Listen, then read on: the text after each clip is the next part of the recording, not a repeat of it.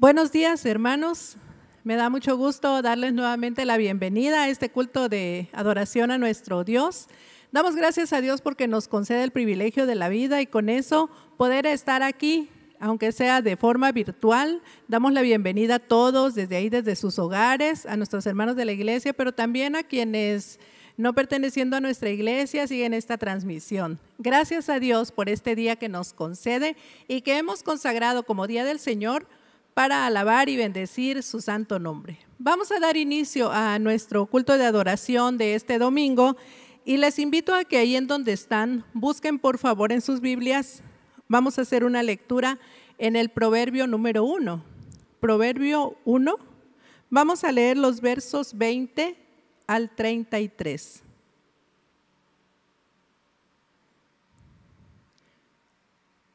Proverbios 1 del 20 al 33. La palabra del Señor dice de la siguiente manera. La sabiduría clama en las calles, alza su voz en las plazas, clama en los principales lugares de reunión, en las entradas de las puertas de la ciudad, dice sus razones.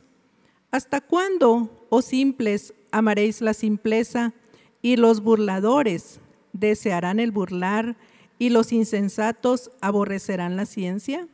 Volveos a mi reprensión. He aquí, yo derramaré mi espíritu sobre vosotros y os haré saber mis palabras.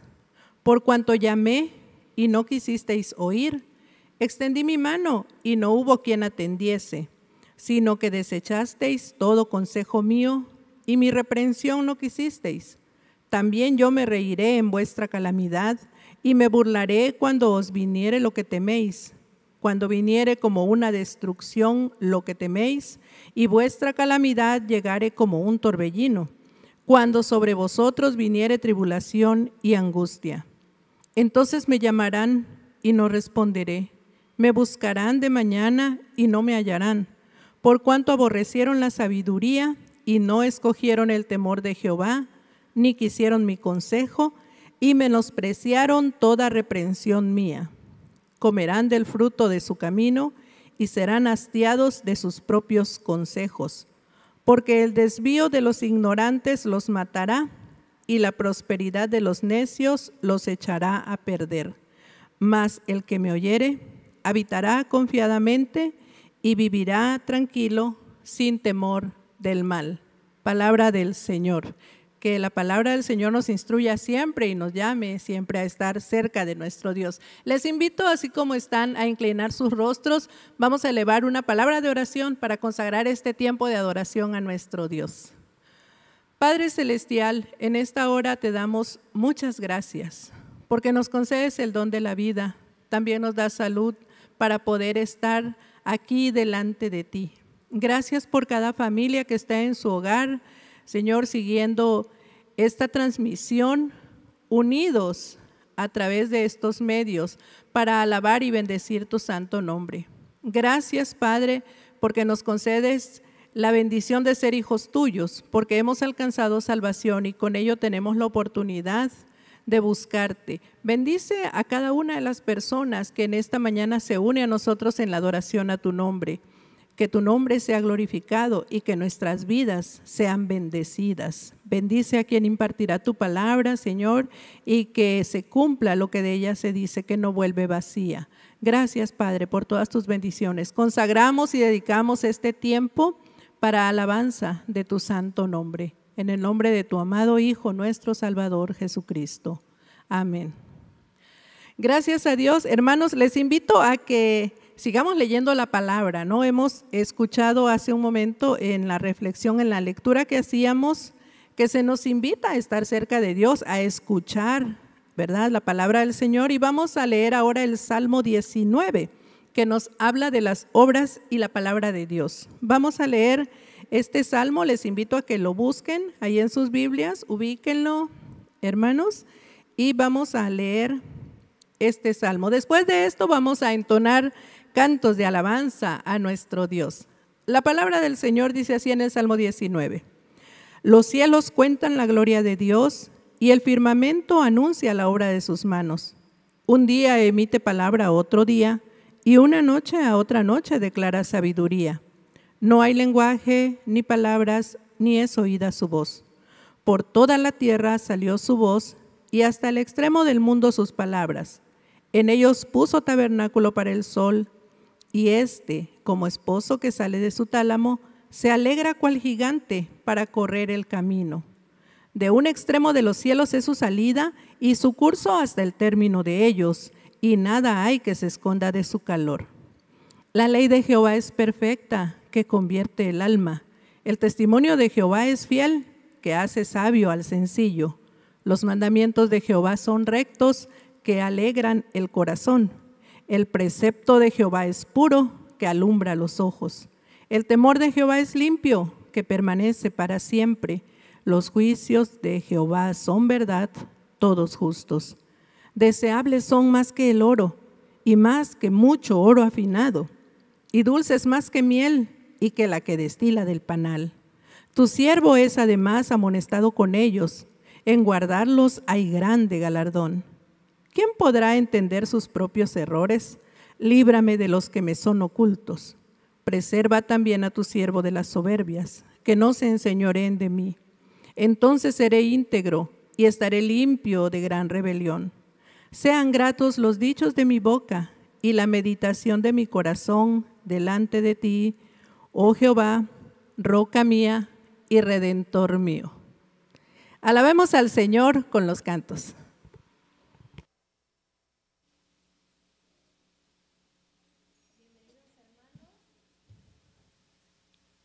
Que el Señor les bendiga. Yo sé que en esta hora, aunque no podemos estar reunidos, todos tenemos ahí en casita un, un corazón dispuesto para adorar y glorificar a nuestro Dios. Así que alabemos en este momento a nuestro buen Dios.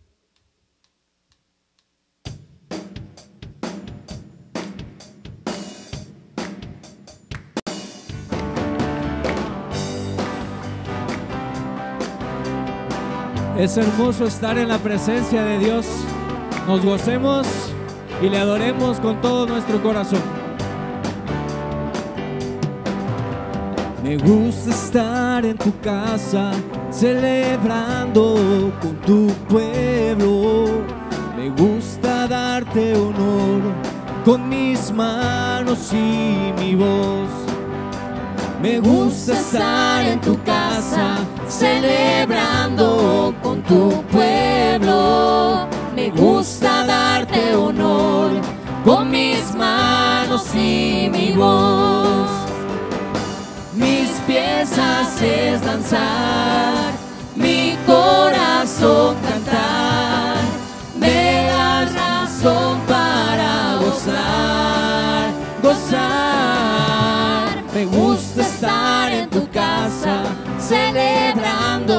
con tu pueblo. Me gusta darte honor con mis manos y mi voz. Me gusta estar en tu casa, celebrando con tu pueblo. Me gusta darte honor con mis manos y mi voz.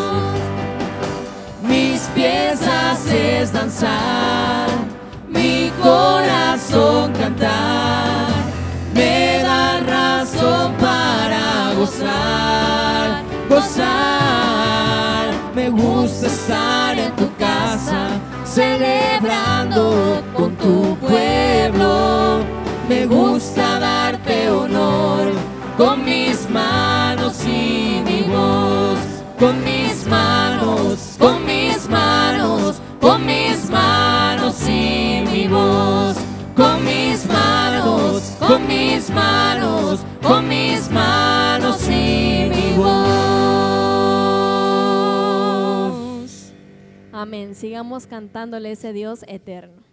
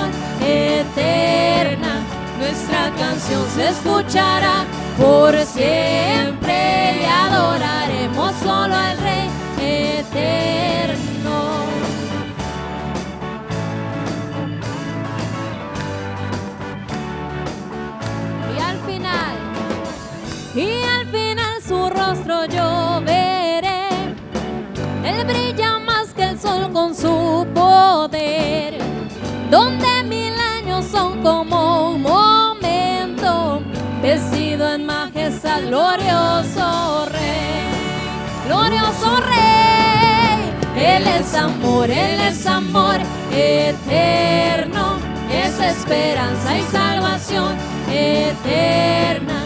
Nuestra canción se escuchará por siempre y adoraremos solo al Rey. Él es amor, Él es amor, Él es amor eterno. Es esperanza y salvación eterna. Nuestra canción se escuchará por siempre y adoraremos solo al Rey eterno.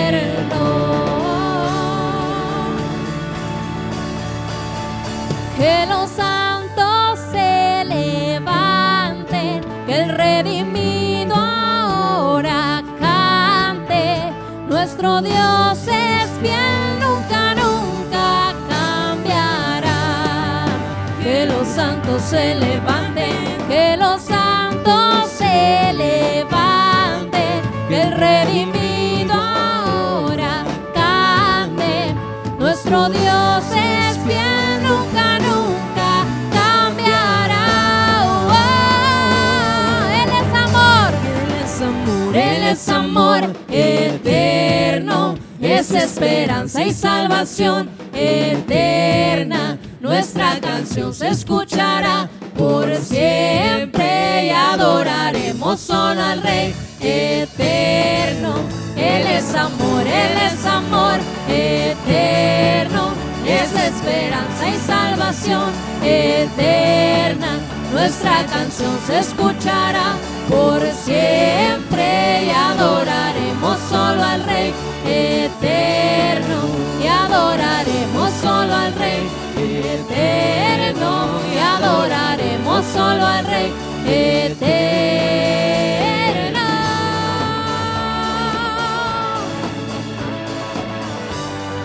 Tenemos un Dios único, un Dios eterno. A Él sea la gloria, la honra por los siglos de los siglos. Amén.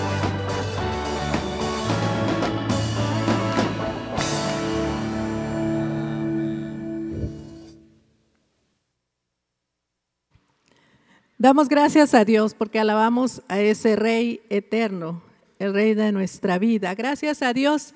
Y en adoración a nuestro Dios también depositamos nuestras ofrendas, entregamos nuestros diezmos que corresponden al Señor para su obra.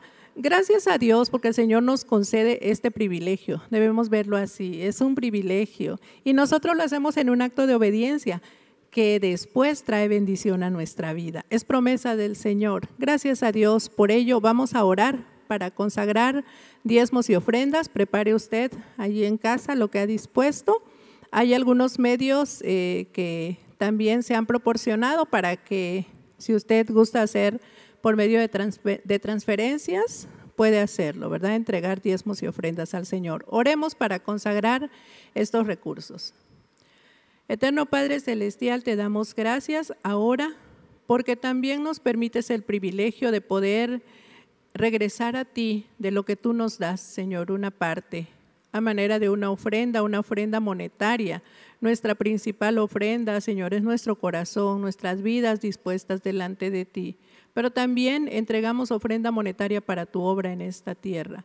Gracias porque de lo recibido de tu mano, de eso te damos. Humildemente te pedimos que quien no tiene un trabajo o tal vez no tiene la posibilidad de poder entregar una ofrenda, tú pongas gozo y paz en su corazón y que puedas brindarle la oportunidad. Señor, provee como siempre lo haces para todas las familias, provee el alimento, todo lo necesario y que apartemos de lo que tú nos das lo que es tuyo, el diezmo que te corresponde.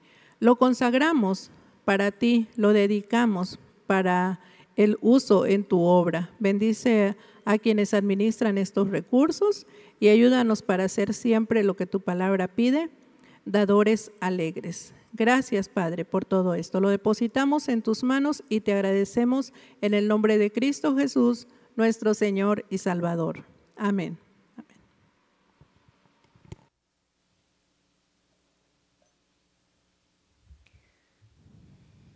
Todos los días recibimos bendiciones de nuestro Dios. Estar vivos, tener salud o por el simple hecho de otorgarnos salvación. Por eso y más le alabamos y le glorificamos y tenemos muchas más razones para alabarle en este momento. Que de todo lo que soy, alabe al Señor con todo mi corazón. De tu grande amor cantaré tu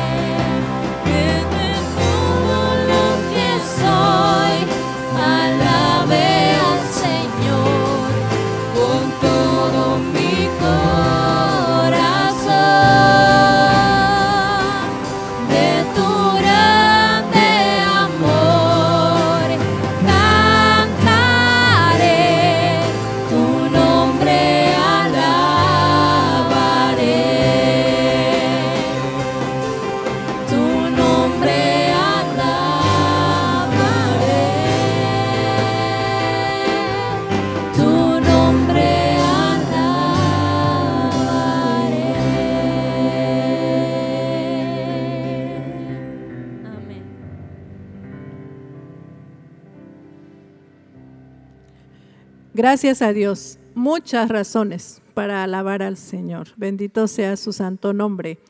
Hermanos, estamos preparados para escuchar el mensaje de la palabra de Dios en labios de su siervo y también para ser despedidos por medio de él de este tiempo de adoración a nuestro Dios. Que el Señor les siga bendiciendo, que la paz de nuestro Dios permanezca con ustedes. El Señor les bendiga, hermanos.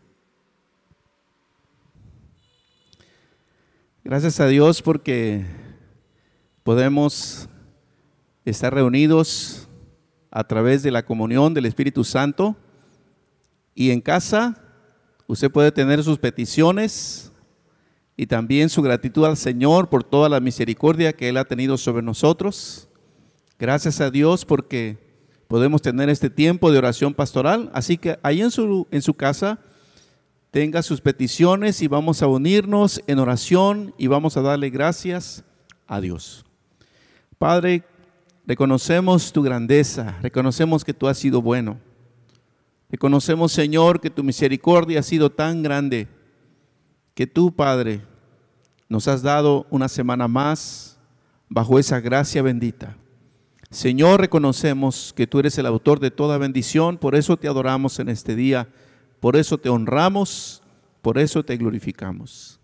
Padre Santo, estamos agradecidos, Señor, con toda petición que ha sido contestada. Gracias, Señor, por tu sanidad sobre, sobre Abby, sobre Pepe, sobre mi esposa. Gracias por tú estar con ellos y darles sanidad. Gracias por bendecir a nuestros hermanos por quienes hemos estado orando. Seguimos clamando, Padre Santo, pidiendo por nuestra hermana Erika Ramírez Ruiz, pidiendo que tu mano sanadora esté con ella. Seguimos orando por nuestro hermano Hermisendo, gracias porque le has fortalecido, le has ayudado. Te rogamos, Padre Santo, que tú sigas consolando a aquellos hermanos que han perdido un ser amado, las familias que están de luto, Señor. Gracias por tu consuelo para ellos, gracias por tu bendición para ellos. Seguimos orando por el niño Dylan, seguimos clamando por tu misericordia para él, Padre, porque eres Dios de milagros, Dios de sanidad. También nos unimos en oración por el pastor René Rodríguez Vinalay. Señor, gracias porque tú eres el dueño de su vida y sabemos que Él está en buenas manos, Padre Santo. Pon tu mano de amor y sanidad sobre Él. Bendice a su familia. Llénalos de paz, de fortaleza. Oramos también, Padre, por nuestro hermano José Manuel, el pastor José Manuel Ramos. Oramos también por su sanidad, pidiendo que tú lo guardes, que tú lo fortalezcas y también guardes a su familia. Bendice, Señor, a cada persona que está en recuperación. Tú has sido bueno, Padre, y oramos para que tu mano misericordiosa, tu mano de amor se extienda en cada familia de la iglesia, donde hay enfermedad, donde hay necesidad y donde hay algún problema, ahí se manifieste tu presencia. También te pedimos, Padre Santo, por los que están en hospitales, por los familiares que están afuera de los hospitales. Oramos por tu misericordia para cada uno de ellos. Oramos por los médicos, las enfermeras que están siempre cercanos a los enfermos. Guárdalos, Padre, y bendícelos, ayúdalos. Te pedimos también por nuestra hermana Analisa Noriega. Síguele fortaleciendo, Señor. Oramos por su recuperación completa, por su sanidad completa. Te rogamos, Padre Santo, por mi hermana Becky, para que tú, Señor, hagas tu obra completa en su cuerpo, tu sanidad esté con ella, restaurándole. También mi hermana Mirna, oramos por ella, Señor, pidiendo tu mano poderosa, tu mano bendita.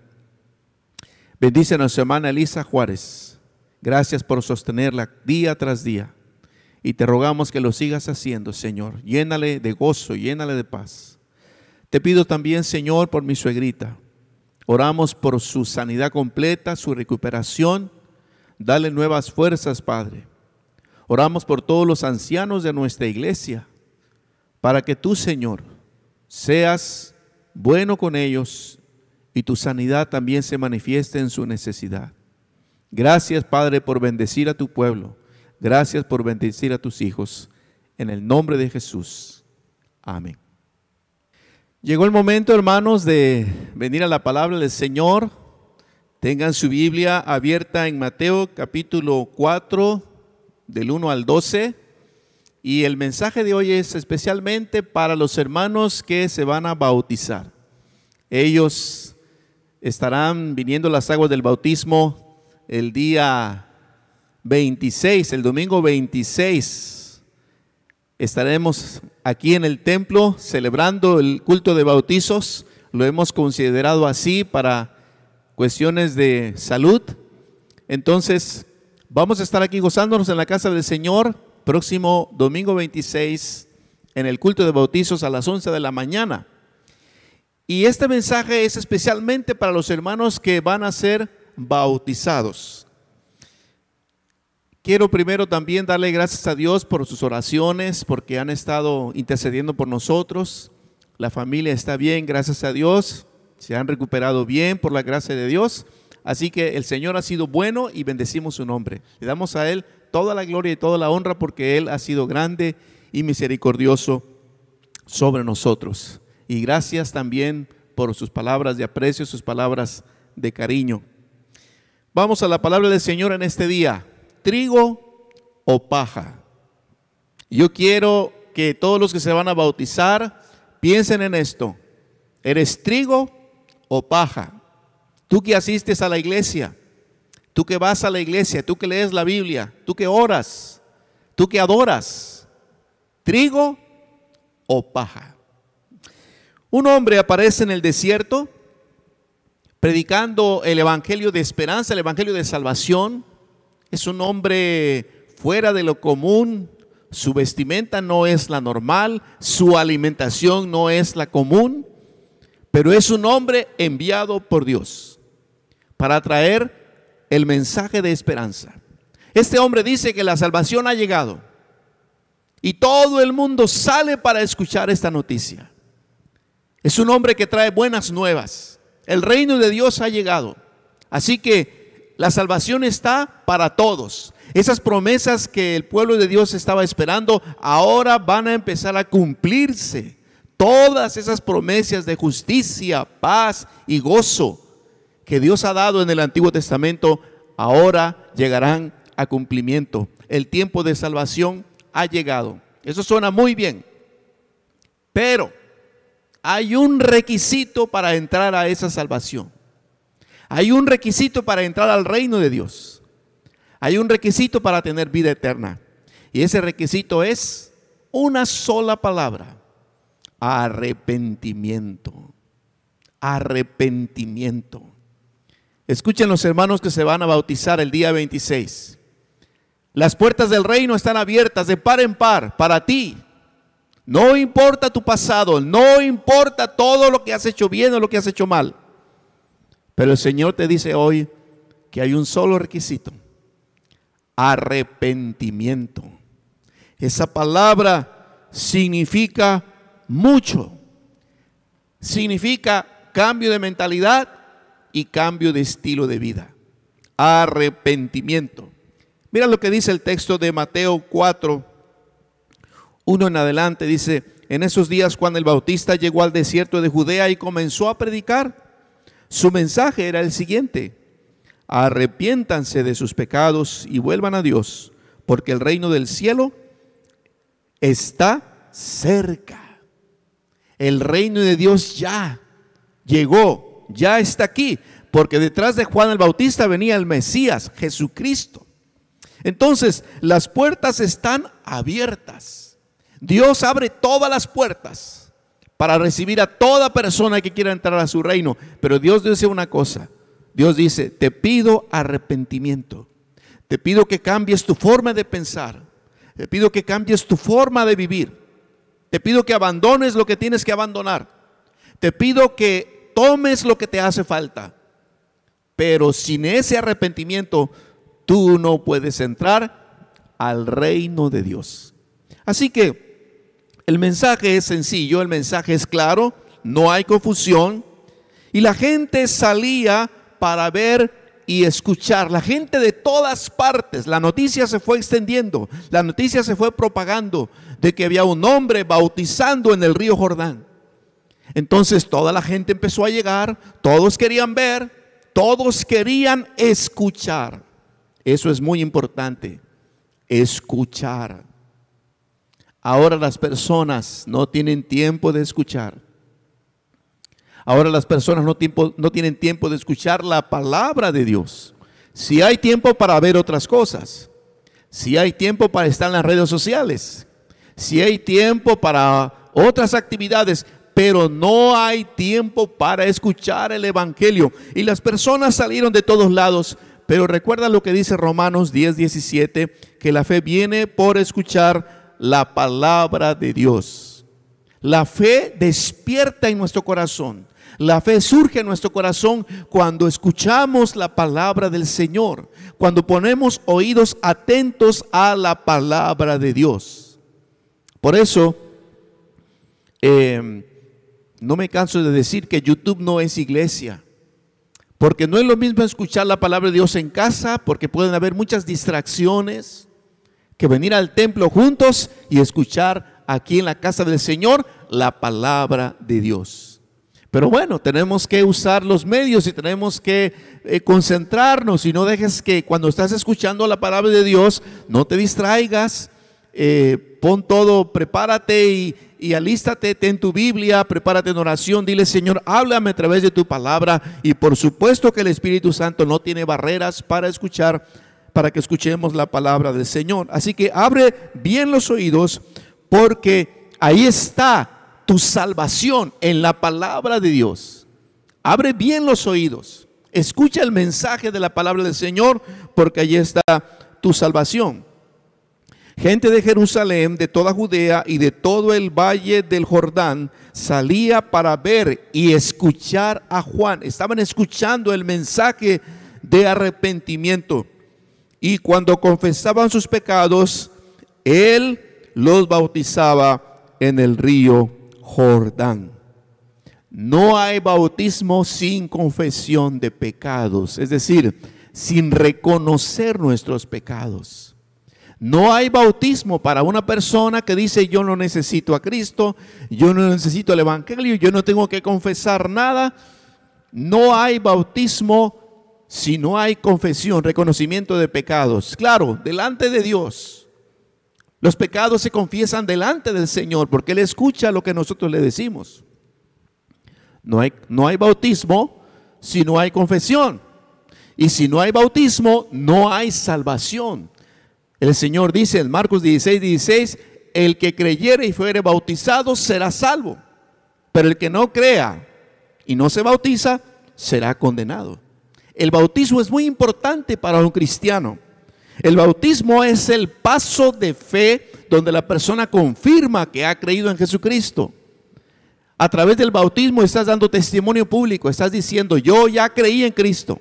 El Señor ha perdonado mis pecados y yo he decidido dejar al mundo que ha quedado atrás para seguir ahora a Cristo. Esa es la idea del bautismo, este sacramento del bautismo. Entonces, no hay bautismo sin confesión de pecados. Qué importante reconocer que hemos ofendido a Dios, que le hemos fallado de muchas maneras, no importa la edad que tú tengas, si tienes 10, si tienes 15, 30, 60, 80, todos hemos ofendido a Dios. Tenemos varios adolescentes que se van a bautizar. Y yo les he dicho, tal vez no tengas grandes pecados como los que ya somos grandes, pero si has sido grosero con papá o mamá, si has sido rebelde, si de tu boca han salido palabras ofensivas, eso es suficiente para que ya no podamos entrar a la vida eterna. Es decir, tenemos que ser conscientes de nuestros pecados. Solo así podemos decir, Señor, ayúdame, necesito tu salvación, necesito el poder de la sangre de Cristo. Juan cambió de tono cuando él se dio cuenta que aparecieron los religiosos de su tiempo. Él estaba anunciando el Evangelio, estaba bautizando a las personas en el río Jordán, pero cuando él observó que por ahí estaban los fariseos, los saduceos, los líderes religiosos de ese tiempo, entonces él cambió de tono.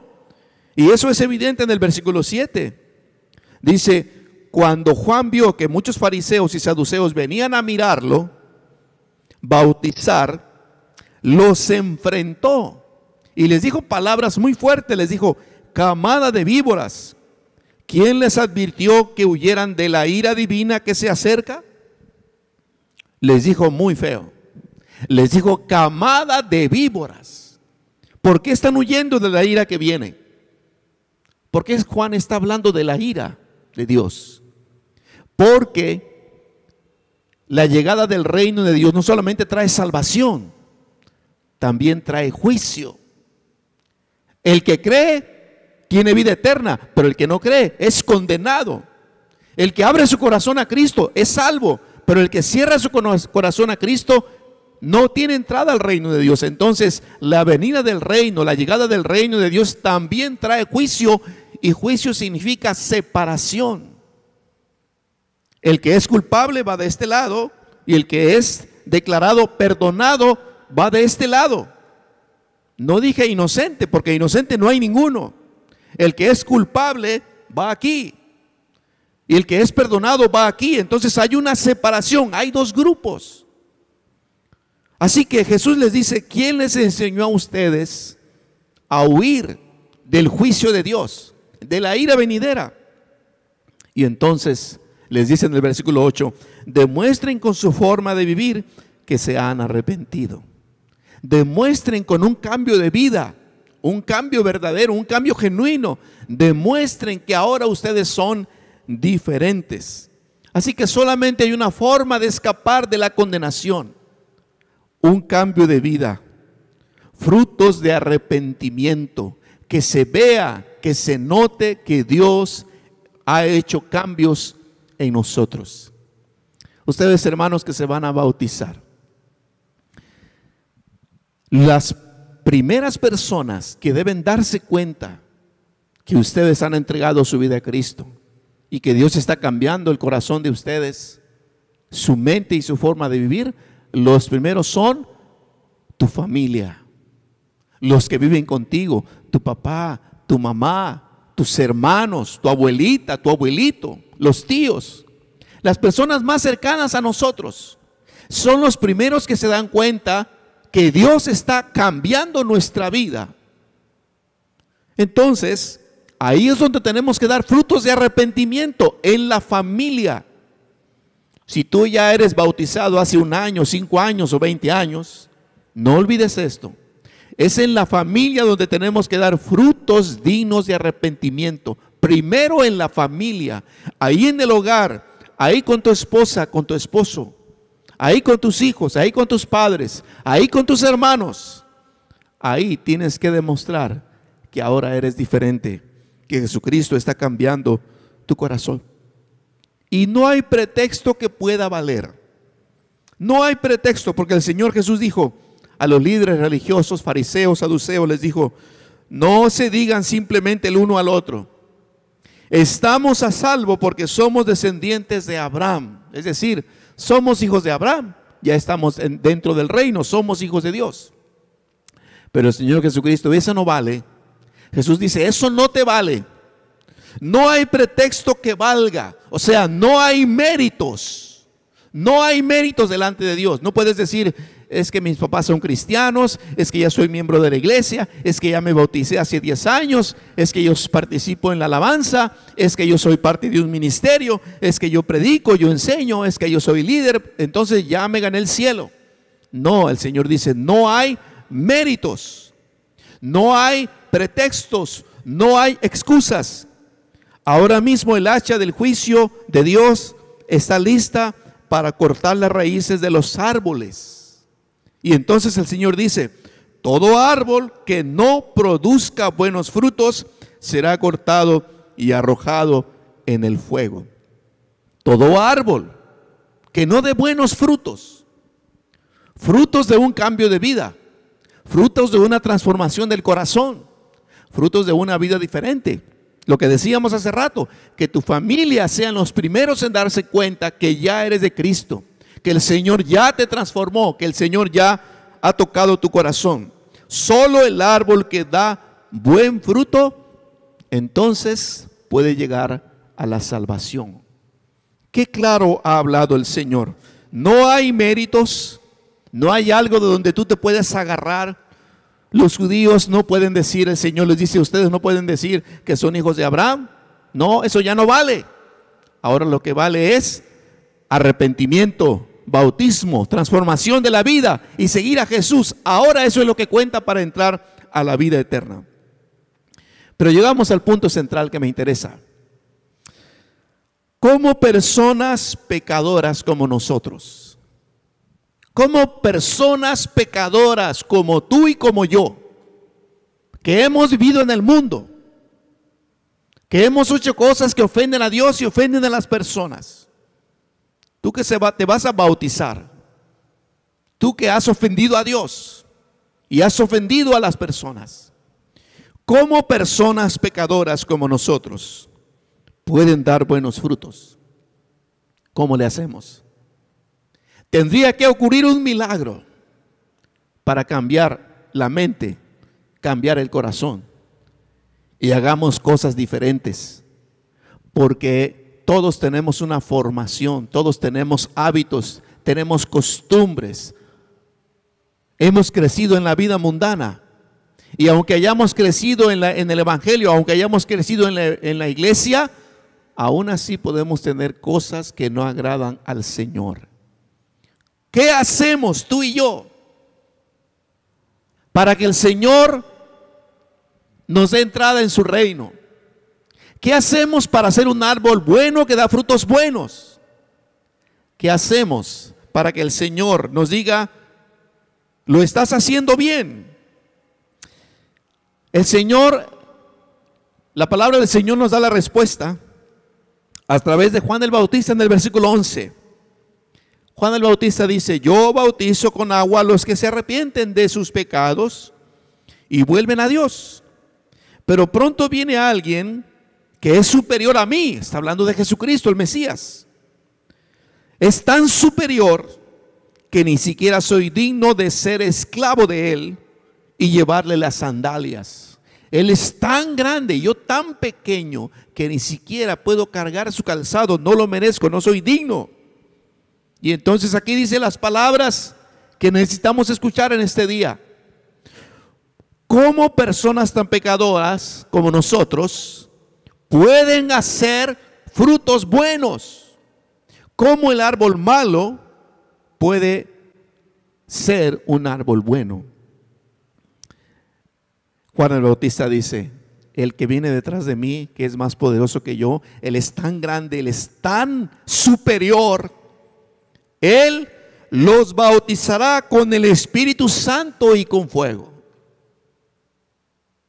Él va a poner su espíritu en ustedes. Él va a enviar, a enviar el Espíritu Santo en la vida de ustedes. ¿De quiénes ustedes? Los que crean, los que se arrepientan y los que se bauticen. Si tú eres de los que se van a bautizar, ¿cómo le vas a hacer para agradar a Dios? ¿De dónde vas a sacar fuerzas? La religión no te cambia.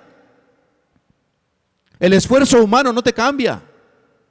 Si te vas a un seminario, a un curso de superación personal, eso no te cambia el corazón.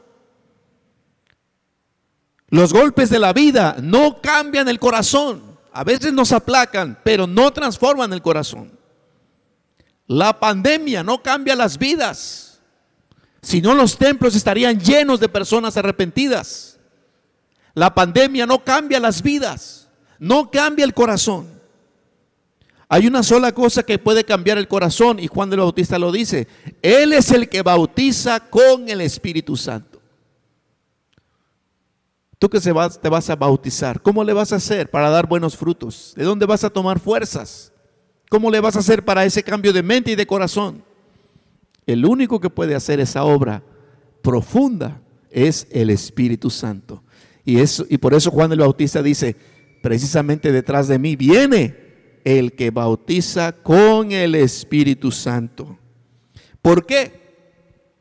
Dice la palabra del Señor que el fruto del Espíritu es amor, gozo, paz, paciencia, benignidad, bondad, fe, mansedumbre, templanza.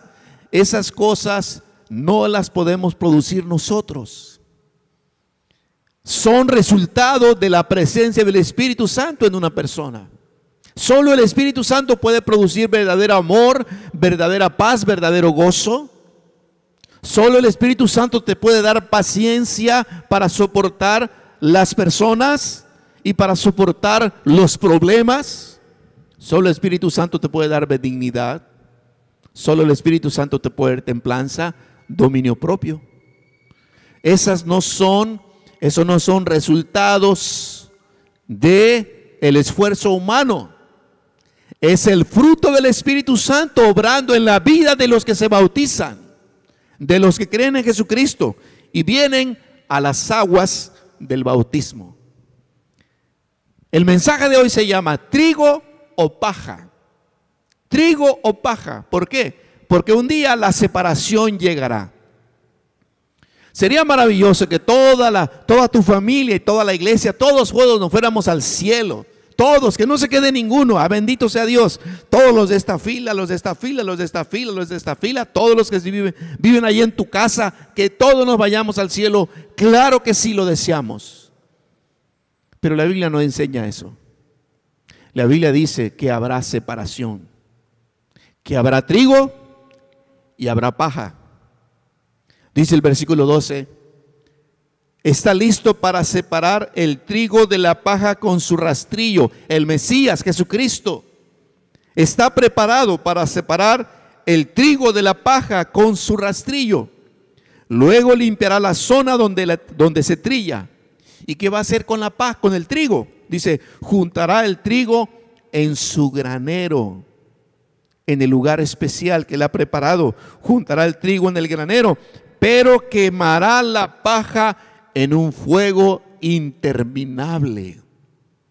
Eso es separación. El trigo por acá, en el granero, el lugar privilegiado. La paja arderá en el fuego eterno. Cuando te bautizas, eres trigo. Cuando vienes a las aguas del bautismo, eres trigo. Dejas de ser paja, porque ahora eres lavado con la sangre de Cristo. Has creído en el que perdona los pecados. Cuando te bautizas, Dios te hace trigo. Y entonces, esa separación, en lugar de ser algo desagradable para los hijos de Dios, es algo completamente agradable, porque cuando Cristo venga, Él va a separar las ovejas de los cabritos. Él va a separar el trigo y la cizaña. Entonces, en resumen, la salvación ha llegado.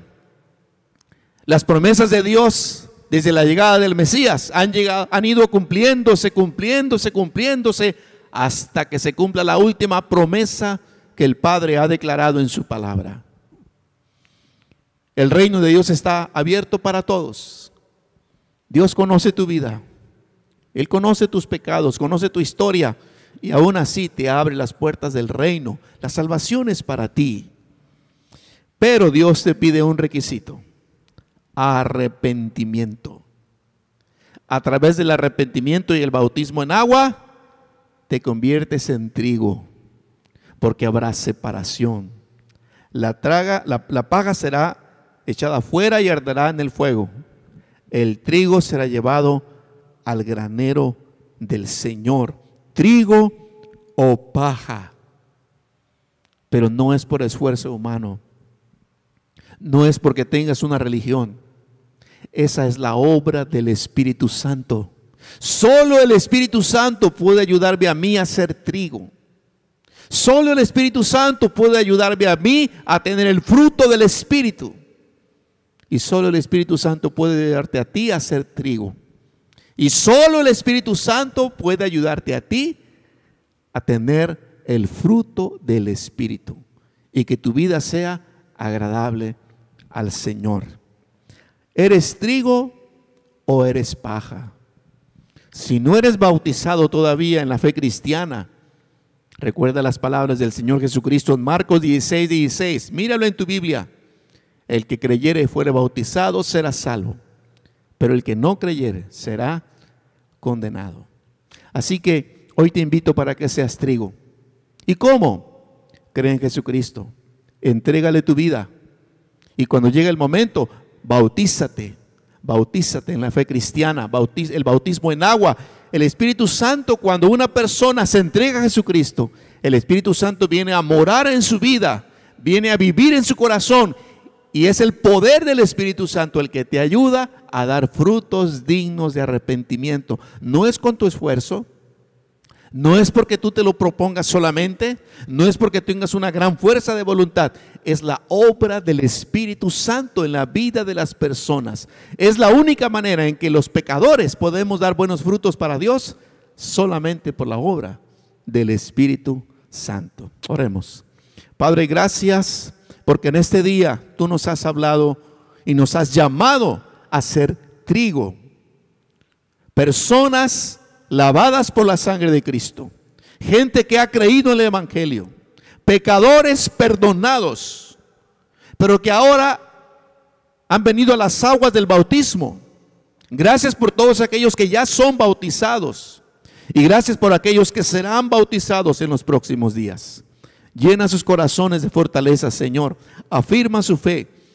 Pero sobre todo te pedimos en este día que tu Espíritu Santo sea quien transforme su mente y su corazón. Que a través de tu Espíritu Santo ellos puedan tener el fruto del Espíritu. Que ellos puedan dar un buen testimonio en casa, en la familia y de ahí hacia afuera. Pero en la familia, Señor, tenemos que dar testimonio de que Cristo mora en nuestro corazón. Por favor, Padre, bendice a los hermanos que se van a bautizar, desde el más jovencito hasta el mayor Llénales de tu Espíritu Santo, llénales de tu presencia, Señor, y que su bautizo sea una experiencia maravillosa, inolvidable. Bendice a cada familia, bendice cada hogar, Señor. Gracias por estar con nosotros. En el nombre de Jesús. Amén. Escucha la bendición sacerdotal. El Señor te bendiga y te guarde. El Señor te mire con agrado y te extienda su amor. El Señor te muestre su favor y te conceda la paz. Hermanos, el domingo 26 de septiembre será nuestro regreso a los cultos presenciales. Ese domingo será el domingo de bautizo, será un domingo de victoria, de celebración con todos los hermanos que van a venir a las aguas del bautismo. Será aquí en nuestro templo a las 11 de la mañana. Será un solo culto ese domingo 26 a las 11 de la mañana. Pero tenemos que seguir las recomendaciones para protección de todos. Si usted está enfermito, quédese en casa. Las personas mayores también deben quedar en casa, los niños deben quedar en casa.